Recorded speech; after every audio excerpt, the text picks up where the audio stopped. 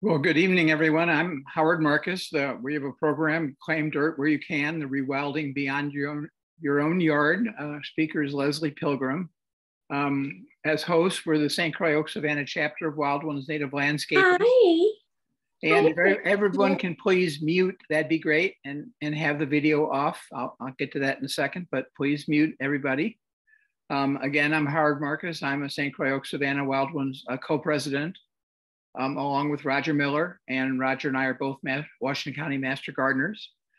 Um, if you have a question for the speaker, please uh, send it to chat to everyone. If, there, if you have a problem with the Zoom, send the chat to the host. And again, please have your mute on and the video off. Um, the next page is, is Leslie's bio and program background a little bit. And then as a hint, over the last three years, I found that instead of me taking writing down notes, it's a lot easier for me to just take photos with my with my cell phone. So um, I'm going to switch to the next page just for a minute for everybody to kind of see Leslie's background. And if you're not familiar with Leslie and what she's been working on and, and who she's with. So I'll, I'll give it a minute and then I'll stop sharing the screen and Leslie can start uh, sharing her screen.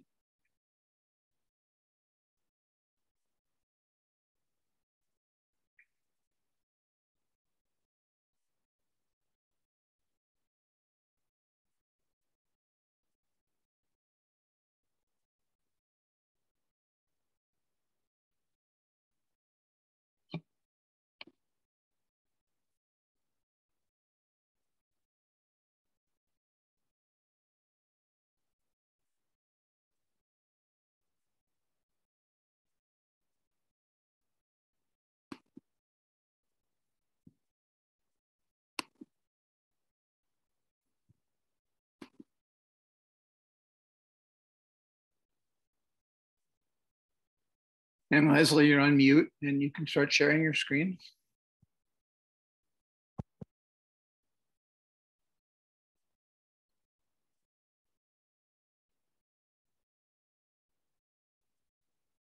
All right.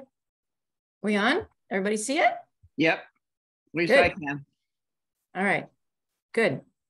Well, hello, everybody. My name is Leslie Pilgrim, and I am Happy to be here this evening. I founded Neighborhood Greening in 2017.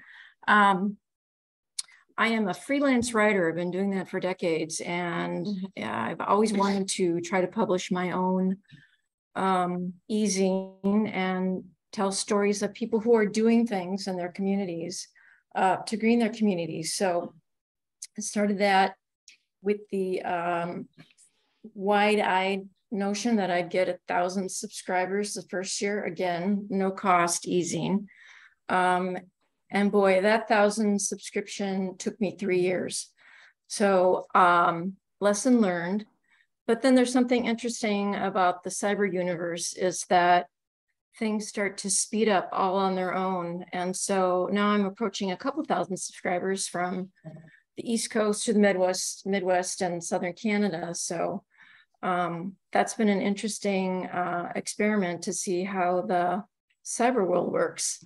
Um, anyways, neighborhood greening is, so I'm stuck here. Neighborhood greening, I can't move my, Oop. all right. Uh, neighborhood greening, I'm okay. Um, I'm, I'm such a novice at this, so a little patience.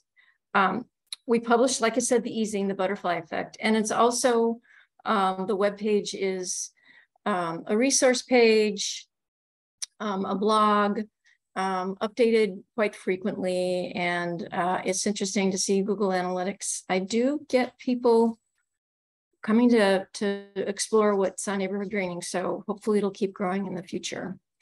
Um, but tonight's program is not about neighborhood greening nor is it about wild ones. It's kind of about my journey uh, in the last decade trying to get things done in my own local community, uh, claiming dirt where you can. Um, there's all kinds of places in our communities that have land that you just love to get your hands into, isn't there? Like churchyards, places of worship, schoolyards, city hall, roadsides. And so I started uh, pondering with the theme of only native plants, native vegetation. So that's the connection back to wild ones. Um, how you go about, about starting to claim space, spaces behind, beyond your own yard. And so here's some of the possibilities that I'm sure we've all thought about. Um, schoolyards, places of worship, roadsides, public buildings, existing parks, municipal projects, vacant land. Insert your imagination here. Uh, I should have put eco squatting on other people's land on that last two list too, because I've I've done that too. So um, and I've actually done projects, you name it. Um, all these places I've done projects in our community. Um, and I'm just going to share with you some of those projects and explain how I went about um, getting things started and stewarded and um, continuing on. That's the challenge is to keep these things going. Um, so here's the first one. This was a roadside one block away from my house that I would walk by all the time and complain about um, riprap, garbage, weeds, you name it. And I always wondered if we could do better. Um, and then I would scream, yell across the street to a neighbor and say, you know, look at the weeds today, or look at the garbage today. And we'd kind of yell back and forth to each other, but we never did anything. We just complained a lot. Um, so then we learned that the city was going to be doing redoing this road. Um, and therein unlocked one of the interesting opportunities that I continue to work with the city to this day is road reconstruction. I have found unlocks all kinds of opportunities. So the city never would have dreamed of doing anything with this half acre. It's really hard to give it perspective because it's a lot of land there. Um, I'm getting a message here. Maybe I'm not coming through very well. Let me just check something. Um, so anyways, this uh, was a great opportunity in my mind to try to do something better with the road reconstruction. And when I approached City Hall, they had no idea what I was talking about. And so I won't go into all the grueling background of the challenges of getting these projects done.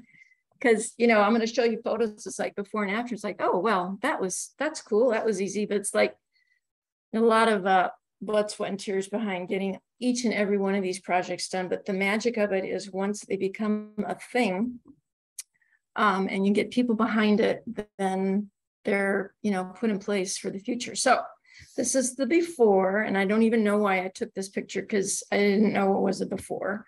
I just wanted a picture of this crummy roadside.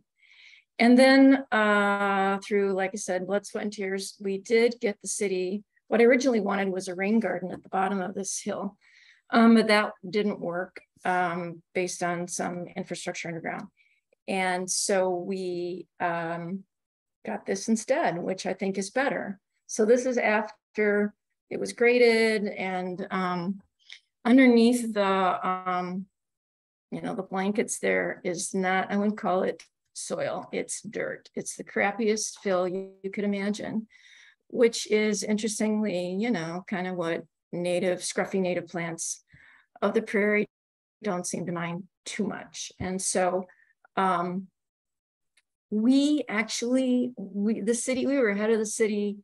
This was being graded. A friend and I went out and bought all this stuff. We ordered the seed from, um, we ordered a MnDOT mix from uh, Shooting Star Native Seeds. And the city, you know, did lend a few a hand. They lent us a few public works people to help us with this. But this was really a community volunteer kind of you know, harassing neighbors and whatnot to come in and help. So that was after. This is the, the end of the year, um, kind of when that first season, when things started to grow. Um, you see the, um, the one lone black-eyed Susan, right? That's what always comes up on these first initial years um, and then fade away in, in subsequent years. And then this is this year. So um, it's really quite fabulous. Um, and community really likes it. and it is thriving and it is a lot of work. So what we've got now is our community master gardeners um, actually have taken this on as an official project. So master gardeners traditionally, um, as Howard and Roger well know, um, they have to put in hours and traditionally they needed to be, um, you know, answer questions, tabling. Um, but now if you have a project, a restoration project, you can actually get your hours uh, working on restoration projects. And so the master gardeners have taken this on. Uh, they got it approved by Dakota County for the, their local program. And now this is an official project and they're out there quite a bit. Um, and it keeps getting better year after year. And the key to this long half acre strip um, thriving is density. So more plants, the more plants we can get in there, the less weeds. So we seed it every year. We collect seed and we've just been collecting it and re-putting it in every year. So, I mean, we, of course, bury in there is every heinous um, invasive you can think of. There's the Siberian elms. And if you look up here, that is, you know, buckthorn and Siberian elm. It is not nice stuff up there. So we have um, no way to remove this and it ends up in here, but our we're realizing that density is our friend. So this is, um, oh no, this is the best picture of all. So that was, this is this spring. So that kind of gives you a good idea of, of um, year six looks like. So I wanted to contrast with what I got going over here on the left. This is kind of a fascinating study of this half acre is cut in half. You know, you can see this is where the snowplow goes, and this is pretty much where the salt and the sediment does not go. And so fascinatingly, we got two like parallel gardens going on here now. We've got the salt tolerance and the scrappy ones, like the salt resilient we're finding is the whorled milkweed and little blue stem, stiff goldenrod, coreopsis, and the prairie clover is the big winner they don't seem to mind the torture of being next to the road. And then on this side, we have more of the Joe Pye. I wrote the list here. We got Monarda, sunflowers, common milkweed, butterfly milkweed, the big blue stem. Big blue stem kind of are hovering on the non-salty. Um, anyways, this has been a really interesting process. And people are very enthusiastic about this in our community. So um, this is a six, seven year, eight year journey from the beginning, but now it's um, quite a resource in our community. The Master Gardeners do actually do some educational programming there once in a while. Um, and so uh, a lot of learning going on in this one. Um, all these projects have been really nice for me because man, the learning curve has been incredible. Um, so this was burned the first couple seasons, which I really objected to because there's nowhere for these insects that we've invited in to go. Um, and I was not crazy about burning. And the city staff kind of liked burning, but um, she has compromised. And uh, one thing about all these stem cavities is they really just get messed with with the snowplow. So they're smashed up anyways. I'm uh, there's a lot of insect life in here. So something's happening, something's living, you know, there's duff and whatnot. Um, so despite this, again, harassment that this roadside gets. Things are figuring out how to live. But what we're doing now, oh yeah, we did find a rusty patch uh, just about every year once this these flowers started um, coming into their own, we have found rusty patch there. Um, so this is what we're doing now to maintain this. So with all these projects, getting things started is great. Maintenance is the bugaboo. Um, you know, getting people to stay engaged and to these, there's no such thing as a maintenance free garden as obviously everybody on this call those. So what we do have, uh, last year we did this and we're going to do it again this year, is I know we're sacrificing a lot of stem cavities. So perhaps we won't do this every year, kind of rotate the way we, um, one year we actually hand cut these. Um, but it's really hard to hand cut in spring because everything's down to the ground and they're not, it's not standing up for us to just snip it. So it's kind of complicated. But anyways, we have Landbridge Ecological that we've hired, the city's hired a couple years in a row. And what they do is um, they bring, this isn't what they have, but something like this. It's a, it's a walk behind and it um, bales and then then they remove the bales and it's quite nifty. And the nice thing about this is that it can, uh, you know, go in small spaces this is as narrow as you think it is. And it's also um, lightweight. So it's not adding a whole lot of compaction to an already compacted situation. So we're really liking this as a solution for maintaining this roadside. So could we go and do this all over Mendota Heights? I don't think so, because it's a lot of work. Um, and I don't know, you know, we got the master gardeners who are really very devoted to this roadside.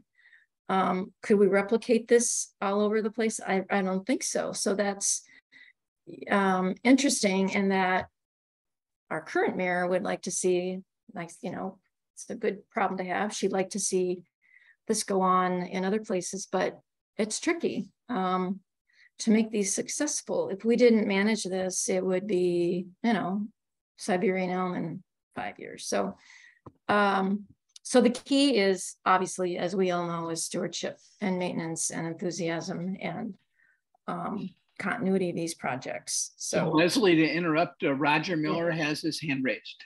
Oh, I'm sorry. Well, I can't. I'm doing something funky. Oh, no, oh, no that's fine. Listen, just oh, yeah, a, yeah. A, a, quick question was: um, Is this um, a city, a county, or a state road that you're working with? Very good question, because I'm going to get into that. This is a city road. So the city is gave us entree onto this strip of land, and they are offering some resources. So this this little deal here every year costs, I think, about 650 to hire Landbridge to do that. So, and they're paying for that. So um, this is a city road. But Roger, that's just an excellent question because about uh, parallel to this, parallel to this road, and just down the block is this road. Looks very much like this road, but this is a county road. And so I thought, oh, let's let's take a look at this roadside. Um, and I called the city and I said, hey, can we do that all over again? And they said, hey, that's not our road. So this is a county road. So live and learn. I mean, all these roads, you've got county roads and you've got city roads and you've got DOT and you've got state. We've got Dodd Road, which is a state highway. Looks just like this road, but it's called a state highway. But this is a county road. And so I contacted Dakota County. Um, and surprisingly, they had never done anything like this before. And the Department of Transportation for Dakota County, the fellow was willing to learn. So I just thought this is way too easy. Um, I'm so used to long-winded, uh, you know, protracted discussions and months going by, years going by.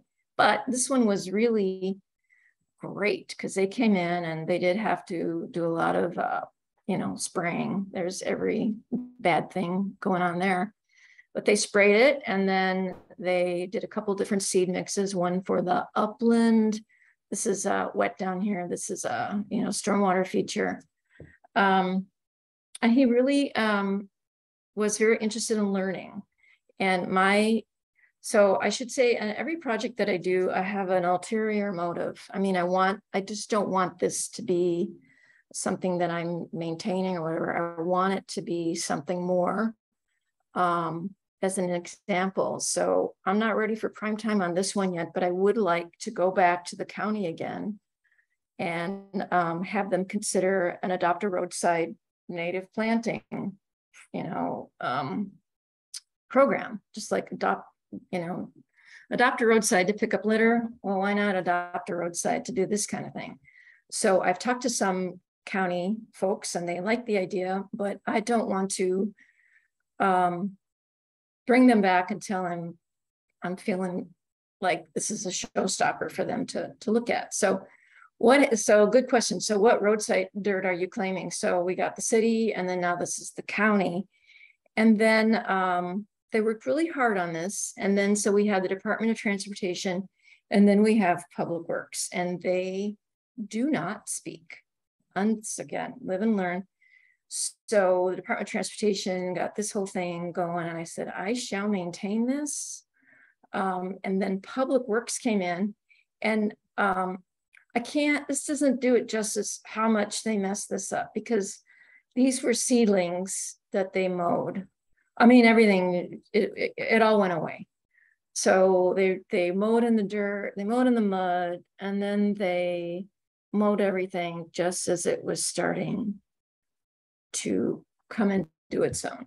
So that's what happens when transportation and public works don't communicate. But you know, I since then they do communicate because they were all out there here last spring, and you know, I said this is what I'm doing again, and um, they both offered to help. So they do I mean, it's not a beautiful situation. They're not communicating a lot, but they're at least aware of each other now. I was just stunned that Department of Transportation could put this in, and then yet Public Works would just come and still do their regular thing, uh, like it's a mowed roadside. Anyways, what I have learned is amazing. So, anyways, so this is where it's at today. It's slowly coming back. It's not a masterpiece yet but I can see the possibilities in a couple years.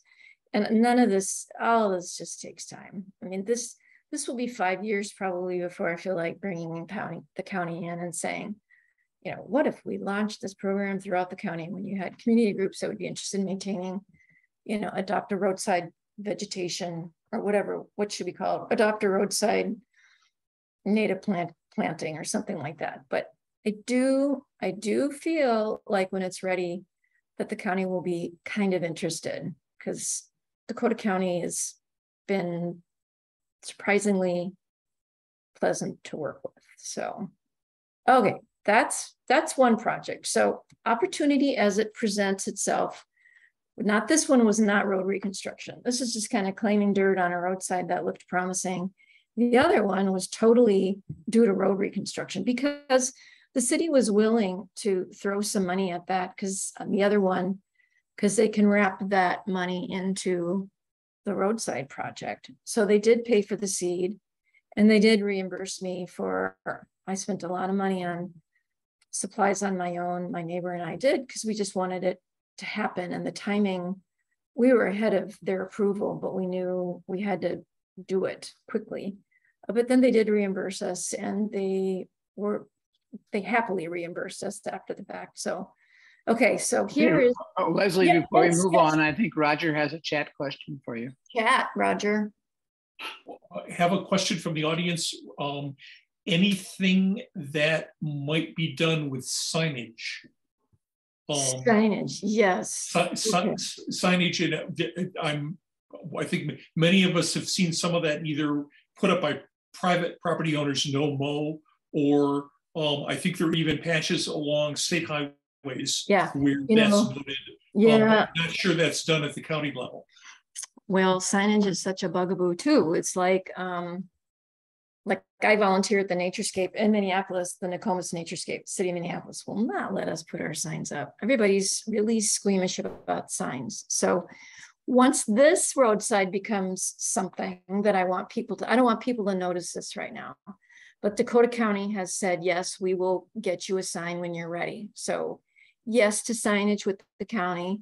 The city has been, oops, the city's been a little bit, um, uh, I don't know. Our public works guy doesn't like signage. We're working them over. We'll, we'll get signage. So, but it's not like everybody's worried about continuity of signage. Does it look like a city sign? Does it look like a county sign? You know, what are you saying? Blah, blah, blah. So um, yes, yes, I do know we do need to get signage, but it's coming. We have right here, we have a little box hanging on a phone pole. That's about what we've got right now, full of information about uh, native plants. That's what we got right now. Mm, and you know, some there's this stuff is complicated. We got people in here plucking out caterpillars and looking for eggs and all that. And you know, we create this habitat so that people don't do so we don't do that, right? We're trying to, as we wild ones all know, this is the best. Keep keep it outside and keep it in its natural environment. So we like to get some signs out there like, you know, the old fashioned leave only footprints. Actually, don't even, not even footprints, but just leave it be. Enjoy from the side of the road. Um, okay, so this is another uh, curb cut project. Another opportunity having to do with road reconstruction. And so I, am offering some of these projects just as food for thought for all of you who um, would like to engage more deeply with your local county or your city or whatnot. And um, I just stumbled into all of this stuff. It's not like I had a master plan, but you can vision envision things and then you uh, try to figure out, you know, how do you make it happen? Um, whose door do you knock on? like Roger said, city, state, county, you know, uh, someone who has land in your neighborhood. So this one, this happened when I was going through my uh, Minnesota water steward program. We needed a project, my water steward buddy and I, and we had no money. Uh, my friend Marilyn Jones went through the water steward program with the MWMO of Minneapolis where they had so much money for their project, they had to return some of it. Okay, well, I had, I naively thought, oh, we get money with the water steward program, but no, that's based on your local WMO and your, or your district. So ours had no money. So I had to beg, borrow, and steal to find a project. So I went up to City Hall and talked to said public works person again, the engineer, who I talked to on that other roadside project. So then I knocked on his door again about what could we do, Steve and I as water stewards for our project without any money. And he talked about road reconstruction. And so um, back and forth, talking back and forth, they had, they have, they have a line item, the city of Mendota Heights is a line item on their um, sewer, water sewer billing. I think it's $12 a month now, and that is for green infrastructure. So they had been doing that, but they, I don't really know what they were doing with that accumulation of funds. And so one idea was to start a curb cut rain garden project in this neighborhood.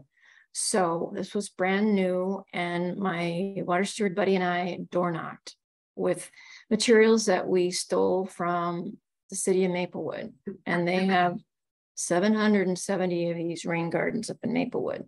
And they were more than happy to let us steal. So we stole their brochure and changed some words and we we stole their garden designs. We've since done new garden designs, but we were on the fly, moving really fast, trying to keep up with this road project. And the first year, this year, we got this initial year, we got 14 homeowners to sign up which we were just thrilled at. And what we did is we had a meet and greet actually in, in this neighborhood in someone's home, because I don't like meeting, meeting at City Hall. It's not pleasant. So we had snacks and, and whatnot. And it was kind of a communal, um, you know, neighborly thing. And so ultimately only 11 could go in. Again, there's always these infrastructure problems. But um, so here is before and what it's interesting now, this has become an annual thing. So now we, these curb cut rain gardens follow um, road reconstruction and road reconstruction is every year, every year, every year. So we just had a installation last week in another neighborhood of another 11 gardens.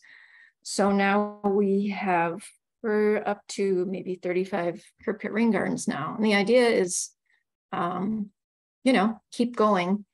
It, it's interesting. Um, it got legs this year on Nextdoor. Someone said, "Oh, I'm getting a free curb cut. I'm getting a free rain garden from the city," and it kind of went our version of viral in Mendota Heights on Nextdoor. I wasn't, so it was a neighbor that posted, so I didn't even have to door knock or anything. It kind of had its own life. So here's the before, and this is not that necessarily that house. How's that for great before and after? It's not even the same home, but this is after. So this is more of a traditional, you know, we're not making people do native plants if they don't want to. I mean, the idea is be happy, um, like your garden. If we can get some natives in there, perfect. I would never recommend um, rose milkweed, swamp milkweed ever again in these things. They, it's just too dry. Um, they have all disappeared in all of our rain gardens. Just little asterisk there, comment for the people listening. Anyway, so the water comes in off the street here. You can't see it, but there's a little catch basin that needs to be cleaned out. Uh, we have since ditched the catch basins because people don't clean them out, even though they know they should. Um, so now the ones that we just installed this year um, don't have a catch basin. It's just inflow and outflow. And they're gonna watch, city's gonna watch if there are some rain gardens that have major um, runoff because of their particular street situation, they're gonna put some catch basins in later. So, so this is just kind of fun to see. Uh, I mean, again, this was a huge process to go from this concept to get the city to say, yeah, let's do it, to this actually happening. But again, that same master gardener group was all gung ho to help with this. And then there's a lot of other um, people in the community that I I know where they are. I have their phone numbers, and you know they show up and help. Um, it's kind of like a barn raising. My daughter had a um, little burley that she filled up with cookies and sodas and rode her bike around and it was gave it gave people refreshments it was it was these things have to be fun if they're not fun nobody's ever going to sign up to come back again so here's a before um and i think this next one is a true after yep well there's during um and then there's after so this particular neighbor loves their garden and they work really hard on it. So again, here you can see the little tiny catch basin. I mean, we've just kind of evolved. We're in year four now of this. So this was year one. Uh, the city of Eagan has done a few of these. They said, try this catch basin. Um, again, we we realized they fill up just instantly. So um, so here's another before and an after. This is the garden I worked on. Um, and here's the volunteer crew. This is my daughter. This is another daughter. And, um, you know, we had about this many people actually showing up and to work on all 11 of these. So, but it was fun.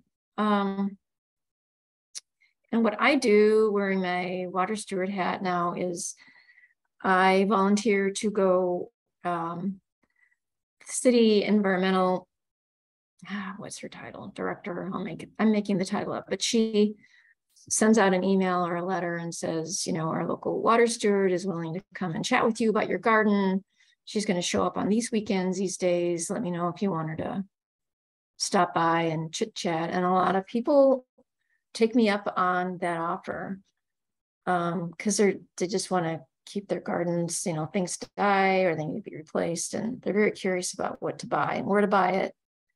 Um, so this one was all native plants. This is on the left, that's that was really scrappy. Um, but it turned into something very nice. And there we go, volunteers galore. It takes takes a village, but um, yeah, this was a this was a really good project this first year, and it went so smoothly. Again, I have to thank the water stewards. I mean, the well, the water stewards and the uh, master gardeners, because and again the community members who there's a group of people who just keep showing up. I mean, it went pretty well. Clean water starts here, and okay, so before I go to the next one. So that was another opportunity with, with road reconstruction and these cut rain gardens are infinitely less expensive to do when you're just making it a part of the road road project. So um, I consider this one of the best things that we've, that my city um, is doing, and I don't think a whole lot of other communities are really doing this. I know Maplewood, Burnsville, um, maybe some others, but these curb cuts are really important because it takes the runoff from the street um, and catch. I clean these out. I've one garden that I'm working on, and it's, it's really there's so much bad stuff that comes in off the street. So these are good, good infrastructure. So the next one, the next Well, cleaning dirt. Leslie, we have another. Yes. question. Yes, sorry, I'm not doing good with the. No, no, you're doing fine. Okay, okay. Question. Leslie, question from Marilyn Torkelson. What did you do with all the excess dirt from excavating the rain gardens? Oh, you know, the city, I, the city took care of that. Um, it, the, the contractor, I mean, it's engineered soil that get, gets put in there. So it's, it's a, it's a, it's an engineered rain garden. So there's a specific mix that's put back in. So it's not like you can just do a depression and call it a day, um, call it a rain garden. So good question, but I don't know. Are they, they haul, hauled it somewhere. So I didn't have to worry about that. So it is the contractor that's doing the road reconstruction is actually excavating these. It's all part of the contract that the city has with the contractor. So it's all rolled into that now. These are really expensive gardens, but again, when they're part of construction, it's just road construction, it's just so much easier to just roll them in with the whole project. Um, is there another question, Roger, that I should stop and answer? Or should I keep moving on? Nope, you're all set. All right, I'm good. Okay. Hi, Marilyn, by the way. Okay, so this one is a schoolyard. Kind of looks scary and sad right there, but that's fall. Um, so schoolyard, claiming your schoolyard. So the DNR has a um, schoolyard uh, seedling program. So we get all, we got all these seedlings for free from the DNR. Um, and I'll walk you through that process. The ultimate process, um, the, the gold standard of, okay, what's the brass ring on this one is if you get your school district to designate this as an official forest, which means it's protected and the um, school board has signed off with the DNR that this shall remain intact.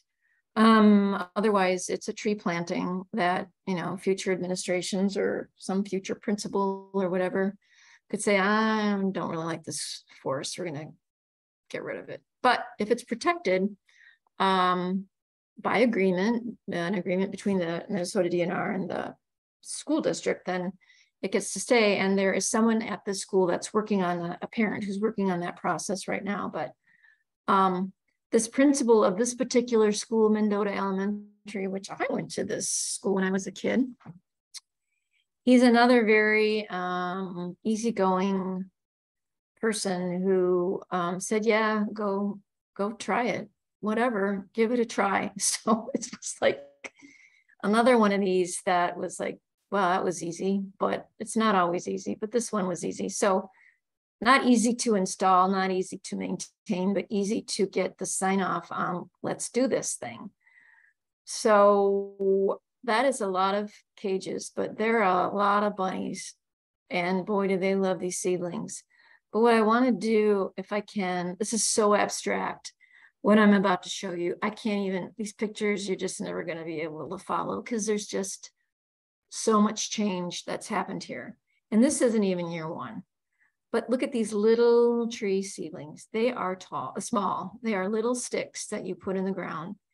And the most amazing thing that I've observed with this project is how darn fast these seedlings dig in and grow. And I'm very confident that they catch up with much bigger trees that are planted, but, um, you know, traumatized from being roots being cut and not planted exactly the right way, but I will keep moving here. Okay, so this was year one. Little teeny weeny trees, some we planted, potted, and these, you just can't see the sticks. They're all kind of invisible. But this is year one after an event. Um, we have, and then we went around the corner the next year and did another leg the next year. And again, these were volunteers from the school and having kids plant seedlings is like so they're so not helpful.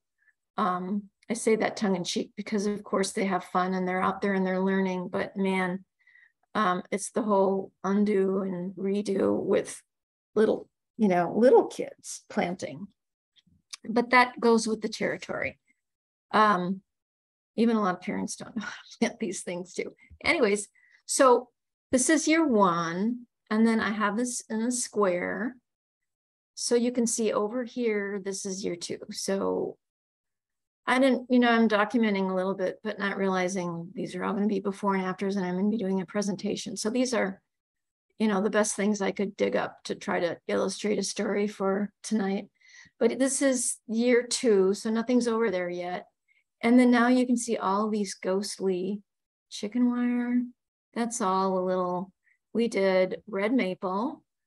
And the thing about the DNR seedlings, and you got to take them in the bundles. So you get a hundred red maple, you know, love it or leave it, because that's the way they give it to you. Um, 100 nanny berry. And then we bought some other seedlings from other sources so we'd have some kind of diversity. Uh, so that was the one problem is you kind of have, uh, at least in the initial couple years, you have a monoculture going. The theory was these red maple and these nanny berries can take a little shade. Uh, the red maples did not like it back there, but um, okay. And so this was all cardboarded. Believe it or not, what we did is we put down a big sheet of plastic we, meaning me and a couple friends, not the school, um, big sheet of plastic, and then cardboarded. Like, can you imagine how much newspaper, grocery bags, and cardboard we saved for this? But we did. And then the city, uh, Mendota Heights, gave us the mulch. They didn't spread it out, they dumped it into a mountain, but they gave us the mulch, so no cost no cost. These tubes were donated, and so no cost, no cost on the seedlings. Um, so it's a pretty nifty project that had very little cost. Um, this quickly, after three years, of course, all became very weedy. So I have been spending time transplanting. I know my yard is jumping worm free and we don't endorse, you know, sharing plants, but I um, have strawberries in here now. I have violets in here. I have golden groundsel. I have some ferns. So this is becoming a well uh, woven carpet, which is just taken off. And I wish I had a good picture of this. But imagine if you can, this is all now ground cover um, that is doing a really, uh, really good job of keeping out a lot of the weeds. Again, the Siberian elms always find. It's like, where are those Siberian elms? I don't see them around here, but you know, they figured out. But oh, I'm so sorry. Um, uh, okay, so then the next year, here we go. This is the others, this was the next year. So you can see we didn't really get the grass totally killed. And here you can see the sea of, um, you know, it, see, it's true. We really did collect all this stuff. Dumpster diving at the liquor store gives you a lot of cardboard. And then here the city gave us this again. There was more than just me and this grandma and her grandchild, but that particular picture doesn't show everybody. Anyways, look here. Okay, here's the little stick. This is what blows my mind. And again, everything's caged, rabbits, deer, you name it. Okay, so this was the true effort. And somebody, some mom in this volunteer group knew a brass band called the Arborators who came to serenade us. And it was a really sweet idea, but you can see everybody's standing around the Arborators, listening to the music. And here I am. Um, I just think this is the funniest picture. It's like, come on, get over here, people. So, I mean, this was like, I had one three hour chunk of time to get volunteers to do this. And you know, when you're a volunteer, you don't realize uh, how much needs to get done. Me, this is me stressing right here. Anyways, so we got these in, and this side is uh, swamp white oak, um, red twig dogwood, and the red twig dogwood are now so huge. I can't even believe it. The swamp white oak are really thriving. And we had a lot of, we had more diversity this time.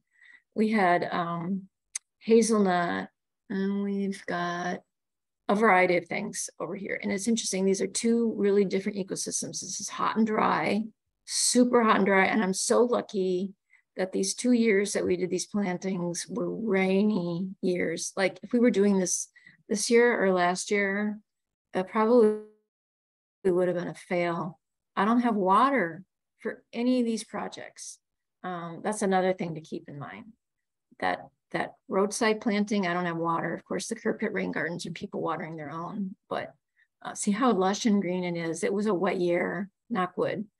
Um, so considering your water source, even fire hydrants, you know, if you have a fire hydrant nearby, you can get permission to, to use those. So, um, so that was, so see, these are just invisible here, little sticks. And then now this is, this is the stick.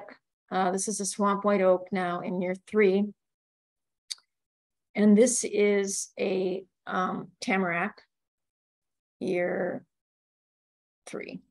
I'm just blown away. And now you can see this is just all filled in. And now this is where you're not going to have any point of reference because you're going to think, what is she showing us? Doesn't look like before and after. But so this is in process on the first year planting when I've started planting, you know, some of the ground covers, violets that I snagged for my yard and uh, groundsel that I snagged for my yard. And now it's just taken off like wildfire in here. This is this year. Uh, a parent has made some Leopold benches, which are really fun.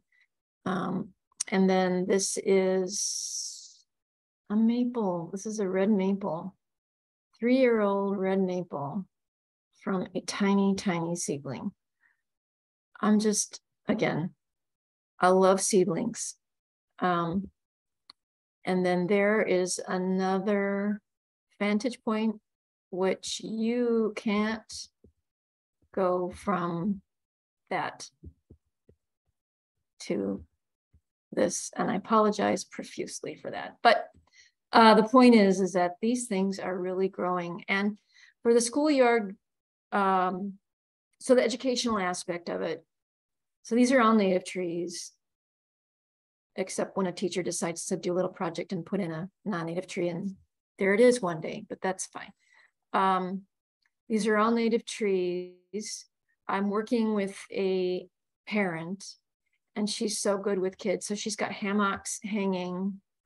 Um, she's got little storyboard story trails in here. I weed whip a path through here. Again, sorry, so abstract to imagine this, but um, the first three years, this was the biggest stud. There was another parent who was doing these really great organic veggie gardens. She's just done a, an incredible job. And that was very popular because you grow food and it grows and then you eat it all in one season. This was a bunch of sticks um, that kids were not interested in being a part of. But now this just keeps getting better and better as these trees grow. And now kids really like kind of this secret garden thing back here. It really is very enjoyable. And this is my baby. I, I have to say I'm maintaining this thing. Um, but it's, you know, it's my, it's my meditation. So I don't mind it. And I kind of like that nobody's, nobody knows what I'm doing in there. The principal's just great. He trusts me and I get to kind of do my thing. And then that parent is kind of working on the, you know, the fun part, the hammocks, kids love those. um, she's trying to integrate learning, you know, trick the kids into learning things at the same time while they're enjoying running around. Um, but I love the whole schoolyard idea. And now the director of sustainability for District 197, she's very cool, very interested in this whole concept. And she wants to do, so it's the same thing, like, can we do these roadside plantings everywhere? It's like, no, they're a lot of work, but um, we could pare things down. So she wants to do the schoolyard forest thing at another school. And I'm thinking, hmm, why don't we do soft landings instead? So what we're going to do at another schoolyard is plant a series of trees, you know, smallish, and then we're going to go big with the soft landings. And I don't know if anyone's familiar with soft landings, but it's creating a soft landing under, you know, native trees so that um, Lepidoptera have uh, the ones that need to complete their life cycle below ground or in duff um, near the tree have, see, this is cement here. They wouldn't do well here. So creating soft landings under these native trees so that host tree invites in the leps and then those that need to complete their life cycles below ground have a soft landing. So we're gonna actually do that at another school. Just kind of walk before we run on that. Um, so that's the schoolyard. And here's my last one. Um, eco squatting on borrowed land. I say that one tongue in cheek. So this one is kind of the last three acres in this community. I'm gonna look at my time. I'm blathering on, okay. Um, I walked by this uh, and it was full of milkweed uh, that were mowed at exactly the wrong time. And I just envisioned nothing but massacre. So I nobody lives in this home now. This was built in 1940, but I did find the an address on the Dakota County tax records, and I sent a letter to this homeowner who lives most of the time in Montana. And I sounded insane in this letter like you have a bunch of milkweed. I notice you mow at the wrong time. I can run around and collect caterpillars if you let me know when you're going to mow or, um, yeah, crazy person. Uh, so I never heard back from them, which deserve it. You know, yes, that made total sense. Don't respond to this crazy person. But six months later, I did get a phone call from this guy who owns this house. And he said, I got your letter. I'm back in town. Can you show me what you're talking about? So he actually walked this. You can't really see the milkweed in this picture. Again, a before picture that I didn't know was a before. But in here are lots and lots of milkweed. And he, um, I told him the whole monarch migration story. Monarchs are disappearing you have a lot of milkweed. Could you let me, uh, you know, do a garden here, do something? And he went from zero to 100. He's like not knowing what the heck I was talking about. And by the end of this meeting, he's like, go do what you want, go for it. So I weed whacked an area where I thought the milkweed were densest because this is this is wettish down here. There's again um, some stormwater stuff going on down below. So it's usually kind of moist. So this is year one. Here's my milkweed. Um, again, so I'm showing you this because I think that people could be amenable to just letting you know you imagine something on their property. I never, I never ever would have thought this person would say yes to me. Um, and so that was the beginning. Um, and I did invest a little bit in plants out of my own money, but I did, you know, I did a lot of seeding and this is all brome grass, thistle, everything bad you can imagine. Of course, and there's nothing nice up here. Um, so I protect this greatly, this area. And so here's what happened when the milkweed had a little room to roam that came up like crazy. Um, they're not like that anymore because they like to be out on their own. Now I'm just learning how crown milkweed roam. Um, here is the beginning of, well, not the beginning. This is probably third year. I've been doing this now for six years.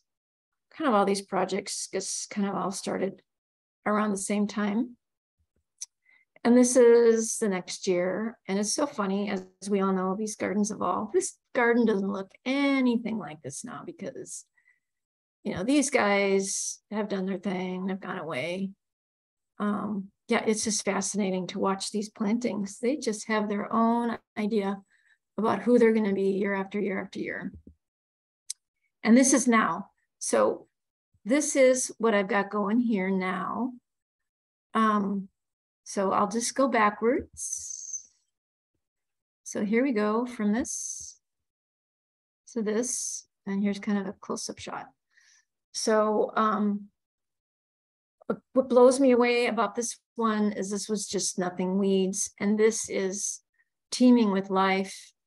I it's just fascinating. How do things find it? It's full of gray tree frogs and you know lots of really good things in here. And I'm just amazed at what life is in here when I walk around. So it's really quite fun.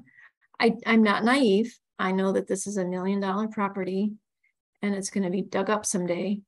But each year that I'm able to have it do its thing, I feel like is a good thing. So, and also now what I'm doing is I am taking cuttings and going, okay, so down the road here is that roadside that the Dakota County Public Works guys drove all over.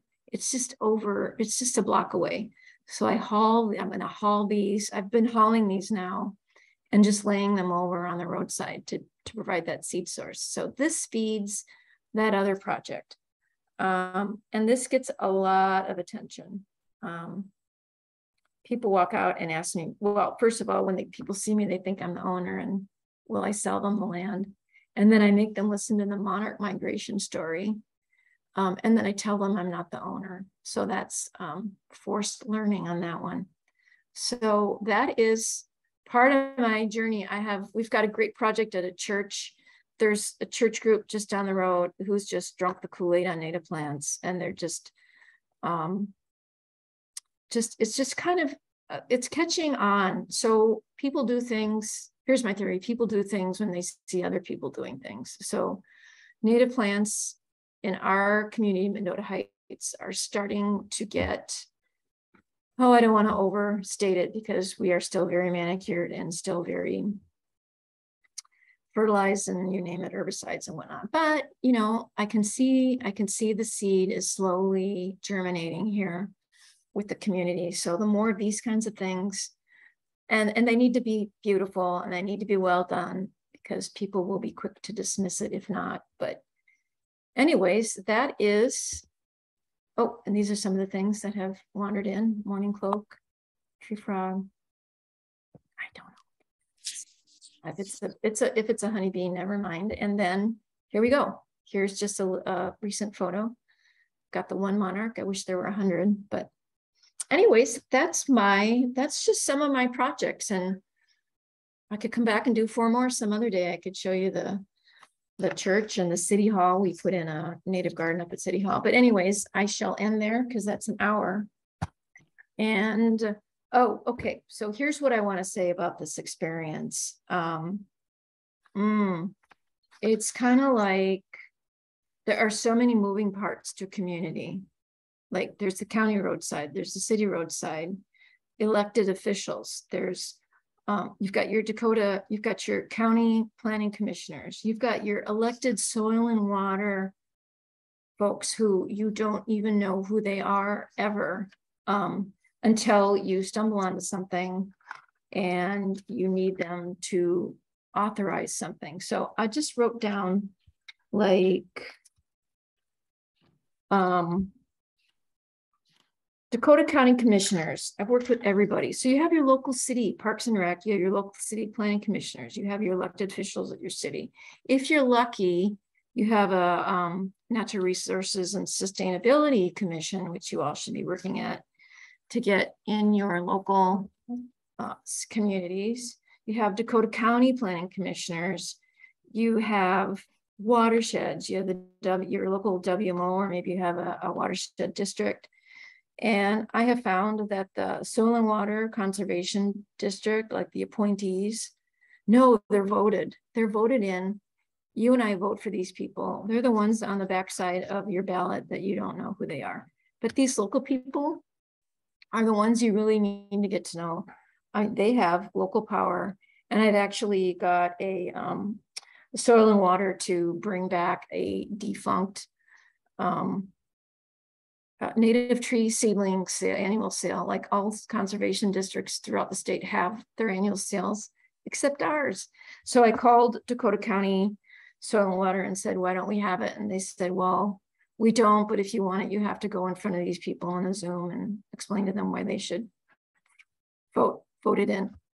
And um, uh, I have a friend here who's sitting just in case things blow up and smoke, and I'm letting Carrie go. Thank you, Carrie. um, yeah, so uh, they voted. They voted to. Well, it was really a public shaming session because I had a list of all the lists are helpful. I had a list of all the soil and water conservation groups in the districts of the state that had these sales, and it was kind of like we're the only one. But these these elected officials had to vote it in, so um, I've just again been stunned at all the moving parts, all the commissions, all the elected officials, all the appointed officials, and each little group um, can help you or not with your project. So it's just, I think the biggest part of this journey is learning the system. Like I started just complaining um, and complaining like to myself, and then complaining led to actually trying to figure out well who has the power to make this thing happen. And then following those breadcrumbs and um, I, I even started by showing up at city hall speaking into the microphone. I thought all i have to do is tell them. All i have to do is just speak into the microphone and say you know we're not doing this thing right. And boy that did not work. So i mean it was a good start. It's it's you know gets people to realize there's an issue but um, complaining or speaking in the microphone um, speaking in the microphone is effective if you are um, a group if you have a plan if you know how the moving parts um, if you've done your homework. I, I speaking in the microphone i was asked so many questions and i was so naive so ill prepared. Then i realized i need to know all the answers to all the questions um, in advance and anticipate the questions. Anyways, not to discourage people, but it's so worthwhile um, trying because there's so many angles to this, you know, as far as city land, county land, schoolyards, privately owned land, uh, places of worship, these are these are all places where there's lots of dirt to claim. Um, and that's what i've got. Howard and roger i can i can answer questions or if there are any. Yeah if any yeah we're a small enough group. If you want to um, unmute and ask a question this is a good time. But uh, leslie thank you very much. It was yeah. very, very good program. I'm gonna i'll just stop share then. And there we go. All right well, good. If anybody have any questions, then uh, please unmute and ask. Uh, Roger, you have uh, anything to add? Yeah, this is Roger here, and um, wanted to alert audience members um, in the chat box. There's a link to information on soft landings, which Leslie referred to. Um, the so it's uh, I think Heather may be in the audience, but it's um, uh, kind of an essay uh, with visuals that Heather Holm um, has posted on uh, one of her websites. So there's a link there. And then uh, for anyone that if, if you, uh, you didn't get the note, um, we are, with Leslie's permission, we are recording this evening's program. And within a few days, we'll have that up on YouTube if you're on our Wild Ones chapter email list, um, watch for a note. We'll let you know when the email is up and give you a link. if you're not on our email list but want a link, um, in the chat box, I've put my email. Um, so you can um, just send me the contact information and I'll, for you, and um, I'll copy you on uh, that message about getting the YouTube link up. It, it might take a week to 10 days. I, I have to get it to somebody else and they have to do it. So it, it won't be tomorrow. And um, Heather now has noted on the chat, um, there is um, information on soft landings on Leslie's website at Neighborhood Greening. And that link is also now in the chat. Thank you, Heather. So anybody with, with questions? Otherwise, would everybody thank Leslie and it was a, a very nice program. Thank you. Yeah, Leslie, I, I would invite you say a little bit more about um, where people can find um, the butterfly effect if they want to sign up for that. Um, and anything else you might want to mention of the writings that you're doing. Um, neighborhoodgreening.org and then up on the top, there's actually, you can just click on the butterfly effect. If you get onto my landing page, it's pretty easy to find the tab that will get you to the, and then once you click on that, there's a pop-up box. And the bottom of every page, you can pretty much sign up for it. It's one of those annoying situations where you click on something and it's going to pop up for you to subscribe. So can't really avoid it. Also, Leslie, Heather has a couple questions in the chat. Right. One about uh, retention, volunteer retention, volunteer retention. There's another one. Uh, well, one of the nice, well, I, I have lived in Mendota Heights for decades. Um, so I, I have, a, I have like my Rolodex of handy volunteers as I know Heather does. Um, you know, so they are the usual suspects. And if they're having fun and if they know what the purpose is behind uh, what we're doing, they keep showing up. So we had that curb cut rain garden event last weekend and a huge master gardener group showed up. A huge neighborhood, you know, the usual suspects who volunteer, they showed up. We had such a barn raising again. And then um, what other group did we have show up? Oh, you know, now the city has started um, trying to promote volunteerism. So you can sign up on the city site too to be notified if there's a um, volunteer event. So that's just brand new, but a few people did show up because of that. So I hope that grows. So, but I do feel like fun needs to be a part of this community connection. Uh, drudgery is just, you know, people are spending time not getting compensated. There has to be, you know, an element of enjoyment to this whole thing. So I think that keeps people coming back. Um, you know, just take take a break every once in a while, have a snack, share some stories. I just uh, maybe knock wood. I'm just lucky right now. Maybe people won't keep showing up, but we're a few years into this now, and uh, we've been really fortunate with the volunteers. I do think that when it's in your own community, um, when we're a small town, so you, I think people like to contribute to things that are in their own backyard rather than volunteering for something, you know, clear across town. So I think there's an element of community to it.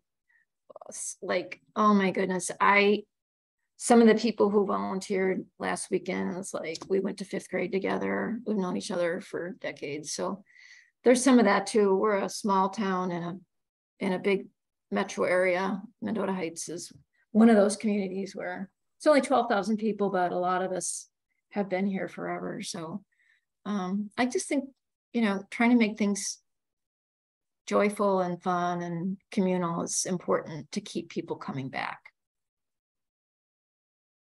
We're good. Other other questions, other comments? You, you long-term management plan uh, after you have retired from such one. Long-term management plan. Um, that is always such a good thing to think about, isn't it? So uh, the curb cut rain gardens are homeowners are managing that.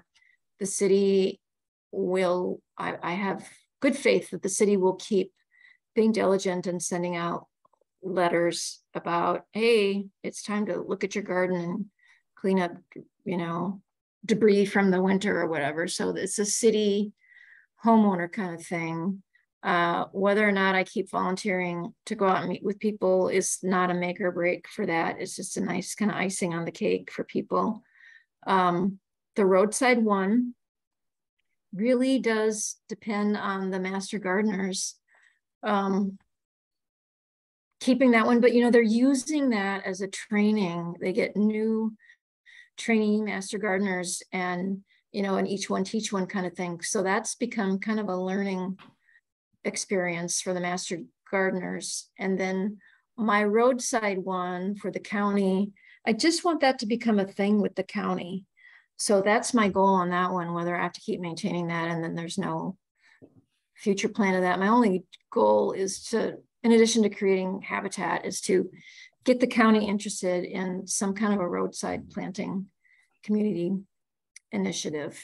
Um, yeah, Washington County has Adopt a Rain Garden um, of established gardens. I don't know if that's on people's properties. I would imagine that's on public properties. So that's, yeah, that's great.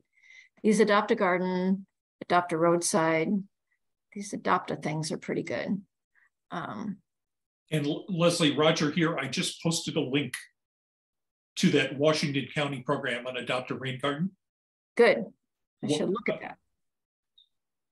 Washington County does good work. Let's see. oh, Heather, let's see your question. How do you get things to happen when city staff have a limited bandwidth or level of interest? So, well, you can answer that question. It's like, I don't know, like if there's a wall and the door slams shut, you kind of figure out what's the other way around the wall to the other side. I just, I'm, you know, you just have to keep running, right? Keep, if that person is a dead end, then you make friends with people on city council. I know you've tried all this, so I know, um, but, but you just, you, you have to persevere. I mean, you're going to get no's and roadblocks left and right. And then every once in a while you get a yes. Yeah thank you. You get a yes and then and once in a while you get like i said some things just so easy. You scratch your head and wonder what's the catch that was too easy. So it goes from no never. I you know i i, I translate no never in my head to mm, not today maybe later um, the no never was that roadside the first one that i showed you with the riprap in it that was a no never um, and now that's become something really quite spectacular. So perseverance, which you know how to do, Heather, and just, you know, there's so many systems. There's your elected officials, there's community groups, there's, um, I have a, um, someone at the county who really has been a great cheerleader for me. Um, and he's given me some really great ideas he was someone who said to me early on, Leslie, when I was speaking to the microphone all on my own, and then they pat you on the head and say, Thank you very much. Now go. Uh, this fellow said, Leslie, you need a group. Like, stop with the talking in the microphone all on your own. You got to go find a group. And so I spent a year drinking coffee with people in the community. I'd get leads on people in Mendota Heights. Someone would say, You should talk to this person because they're very, you know, interested in environmental issues and I meet with them.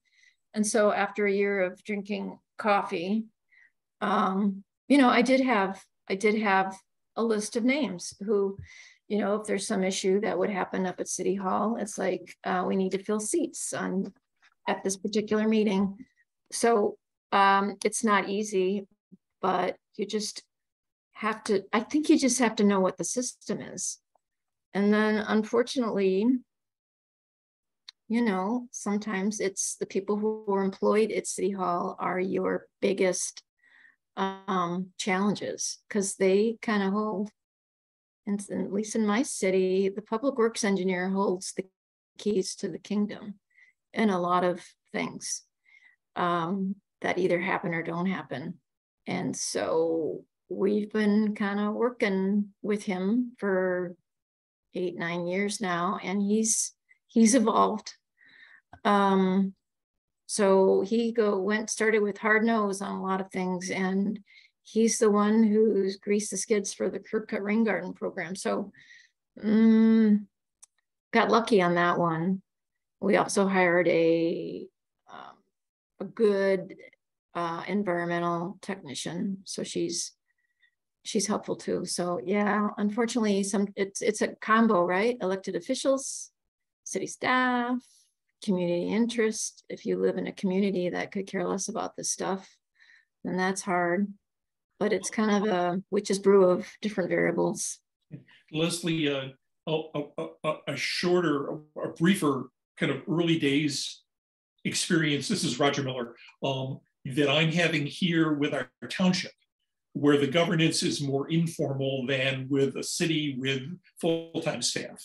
Um, but just at a, a city council meeting, um, there was an opportunity for me to mention um, that there was grant money that the city of Afton and the city of Hugo had gotten recently for pollinator demonstration gardens. And the, the just the mention of money and grant seemed to capture enough interest that that then became an agenda item for the board at a future meeting. And especially these days with the ease with which you can connect with Zoom, it was very easy to get um, some of the conservation district people um, in front of the full Yeah. board to talk a little bit about that. And Yeah. that's now, there's now some planning going on for next season to put in a couple demonstration gardens on, around the community center, kind of the town hall.